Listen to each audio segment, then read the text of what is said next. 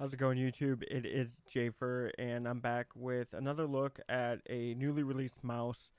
And before I really get into it, you know, what you're seeing right now on your screen is really some of my favorite mice, and they're all by one company, and that's Logitech.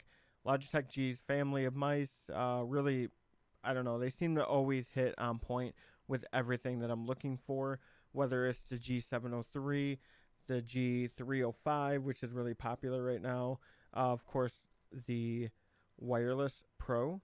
And then you also have your standard wired one. This one I paracorded. This is the Hero Edition with the newest sensor. And then the classic uh, G303, or as the kids call it, the Shroud Mouse. Um, but one that always kind of stuck in my memory from playing like Unreal Tournament 2004 as well as Counter Strike 1.6. And I think even when I was playing like Age of Empires and Roller Coaster Tycoon, was the MX518, and Logitech decided to bring it right back out. Um, they released it in China last year, and then they just recently brought this back out into the US and I believe Canada um, just this past month. So I want to go ahead and really kind of dive into it a little bit and see if it's the right mouse for you. So let's go ahead and get into it.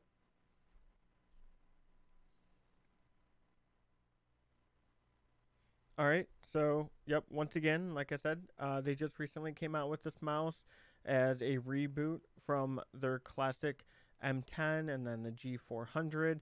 Uh, this is definitely a palm grip mouse, though. So, myself, I'm more fingertip, and you can definitely use it for fingertip or claw.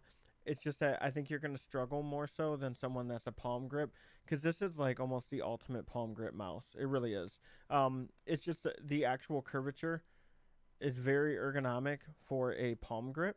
And it's not a bad thing at all if you do want to try this with a different grip. Just know that with it being a larger mouse and it's really designed for a particular grip, you might struggle a little bit. So keep that in mind. Uh, the MX518 Legendary Edition is $59.99. It is sold out right now on Logitech's website. I actually had an order for them, and because Logitech goes through Digital River, which is a complete trash of a uh, of a company, uh, it took forever for me to actually cancel my order because Amazon had it in stock. Now, fast forward to the recording of this video, Amazon will have it in stock at a later date, so you can still order this. And I'll leave a link in the description below if you are interested at the end of the video. Uh, but going into the specs on this guy, it is the Hero sensor, okay? Because, you know, the old one, oh my god, I can't remember if that sensor was even something that had a name. Because the mouse is what, from 2005? Uh, the year I graduated high school. So, yes, I'm old, just like the original mouse. It does have a new color scheme, which is the Nightfall. You can kind of see the reflection of it a little bit. Granted, you kind of see the RGB of my computers more so than that, but it does have that starry effect, and I really, really like it. It looks really nice, despite not being a big fan of glossy mice. This does look really good because it fades from that gray silver into a jet black. So, really nice, sharp looking uh, color scheme. And then the rest of the mouse is going to be all black. And then going from there, uh, internally, you do have some onboard memory that you can save up to five profiles on. And so if you ever want to take this on the go uh, to a LAN event or anything like that, you can do so with ease because it's going to save all your profiles. And you can either use the old Logitech G software that a lot of people are still sticking to or the new G Hub. Uh, they did the official launch on the G Hub not long ago, so it's actually not terrible anymore, but um, I see why a lot of people are sticking to the old software when it comes to customizing this. And customizing it, um, you do have on the fly DPI, as they call it. So essentially, you can change your DPI settings from these two buttons here. So you can go from different increments that are defaulted in the software or out of the box, which I think is like 400, 800, uh, 1600, and 3200 or you can adjust that if you want within the software. And then if you want to go back and revert to your default DPI that you're used to, you just hit this button here. Um, do I think that having three DPI buttons is a little excessive in 2019? Yeah, I would say so, but Logitech definitely wanted to stick to really what the what made the old mouse so popular. So I can see why they didn't want to stray from that. Um, this mouse is heavy, just like your old mice. It is 101 grams, but to most people, anything hovering around 100 grams is a safe bet. I don't have a problem with something that's 100 grams. Anything that's like 120, uh, like the recently reviewed Cooler Master, as well as the G502, the SteelSeries 710, those I do have difficulties with. I know it's only 20 grams, but when you're used to something like the Finalmouse or the G Pro Wireless, it's really hard to use a mouse that's almost double the weight. So 101 grams isn't bad though. It is average. Uh, and then you do have eight programmable buttons. So besides the three buttons here, you have your mouse one and two. You have your wheel that clicks in, and then you also have your side buttons here. And the back side button is going to be a little larger. So if it's something that you use a lot, make sure you program it to the larger button because the top, or I'm sorry, the top, the front one is a little smaller. It's still reachable, so it's not really an issue. Um, and it's, you know, the ergonomics of the mouse is what made it so popular. And they stuck true to that on this side. Not so much on this side. Now, I know that, you know, they stuck to it, but I do not like this ridge right here. And um, I don't wear rings, but if I was to wear a ring, it would definitely rub up against this ridge. And uh, I'm just not a fan of it. I, I think that this kind of takes away from the rest of the mouse that's so ergonomic. I don't really understand what the purpose of the ridge is. Maybe for those that do a lot of liftoff, you're able to kind of grab the ledge right there with the tip of your finger and go from there. Either way, though, um, it's not comfortable. And, you know, I don't really use palm a whole lot, but even going into a palm grip, I kind of have to put my finger here in order to avoid that ridge. So that's the only problem I have with that. Um, other than that, though, the only other issue is really the scroll wheel. Um, it feels really loose. There's like, I don't know, it's compared to other mice uh, scroll wheels with Logitech. You know, you the G Pro feels really really solid, and then you also have um, what I actually like is the 703. The 703 has a really nice scroll wheel as well. It's large, even has RGB in it. Granted, this mouse is RGB free, so anyone that's really into that, keep that in mind. You're not going to get RGB.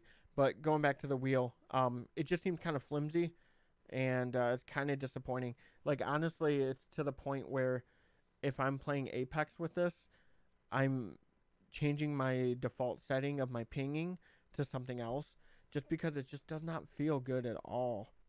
And, uh, you know, if they wanted to stick to the nature of the old mice that I get once again, but at the same time, I think our standards and expectations on mice do change as technology evolves. And uh, the scroll wheel is definitely something that's evolved to something a lot better than this. Um, other than that, though, uh, you do have a rubber cable that Logitech is starting to come out with more and more, uh, just like their revamped G Pro Wired Hero Edition. It's very thin and flexible. I will say though, when I did order it, um, let me grab. I did grab myself some mouse feet and a paracord cable because I just love paracording. Mice, it just always, always just seems so much better with how flexible the cord is over even their new rubberized standard cables. Uh, but if you're someone that doesn't want to mount it, have no fear. This is still a great cable. And then on the bottom, you have the same mouse feet from the old mouse. So two large pads. You have one around the sensor, and then one right here on the side because you know if you're using a bigger mouse like this, there's going to be pressure right along here. So the mouse feet are fine. I tested it on four different types of surfaces with no issues. So you won't have any problems there. Um, Hyperglides do. N- I could be wrong. I don't believe they make the MX518 mouse feet. So people order the G400 mouse feet, and then they just kind of plant them on the bottom. So if you're someone that needs to have different mouse feet, keep that in mind as well. I could be wrong. Let me know in the comments if I am, but I believe that's right. Um, other than that, though, it's you know your standard thousand hertz mouse that you can adjust. And the one of the nice things about Logitech that I don't think a lot of people bring up is that uh, it does come with a two-year warranty. Uh, Razer has an awful warranty, and with SteelSeries, I've heard there's always a lot of issues with getting in contact and having your ticket submitted for a warranty exchange. I've never had issues with Logitech, so that's why I do love them so much. Is because uh, their customer service is great as well as their warranty. Um, so I guess you could say the only things that uh, I don't like is really going to be the ridge here, and then that scroll wheel. Those are my only issues with it. Uh, you know, other than that, it's really the same great mouse with new technology. And lastly, the older mice did have a rubberized grip here that would wear down, and it would be gunky and gro- oh, it was nasty. Like you could see the film of the rubber start to come off. They did change that. This is hard textured plastic now, and it feels good. I don't I don't necessarily need grip tape or grip on every single mouse, uh, as long as it works for the form of the mouse itself. So, but other than that, guys, uh, I do recommend this if you do have a palm grip. Again, uh, forewarning if you are claw or fingertip, might be a little difficult to use. But other than that, that is it. I'm going to leave a link in the description below uh, that does support the channel if you do end up buying the mouse on Amazon through that link. And I do appreciate it. Let me know if you guys have any questions in the comments. And as always, thank you for watching. Take care.